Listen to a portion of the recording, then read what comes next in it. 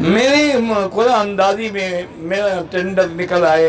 दो रकात पढ़ के रोज़ाना अल्लाह से दुआ किया करो और हसबन अल्लाह हो नेमल वकील, जितना हो चलते फिरते, वज़ू हो ना हो पढ़ा करो। मैंने कोल्ड मैरिज किया है। मेरे घर वाले तो राज़ी थे, लड़की के घर वाले राज़ी नहीं थे। बार यही कहते हैं कि वालदेन की रजा ना हो, निकाह नहीं होता। ला निकाह इल्ला बिवली या उनको राज़ी करो, वरना बात खत्म। कहते नहीं हमाम में जब हम जाते हैं, कपड़ा तो उतारे हुए होते हैं, वज़ू हो जाता है, जब गुसल हो जाता है तो वज़ू क्यों नहीं हो जाता? नहीं, अगर कपड़े उतारने के बाद गुसल हो जाता है तो वज़ू क्यों नहीं होता?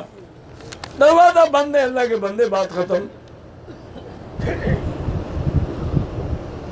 मियाँ बीवी रात को सोए, सुबह जब उठे तो एक के कपड़े खराब थे, जिसके कपड़े खराब है, वही गुसल करेगा।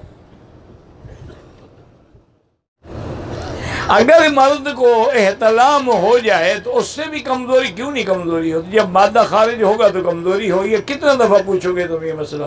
तुम्हें शौक है एहतलाम होने का? शैतान से ताल्लुक रखना चाहते हो?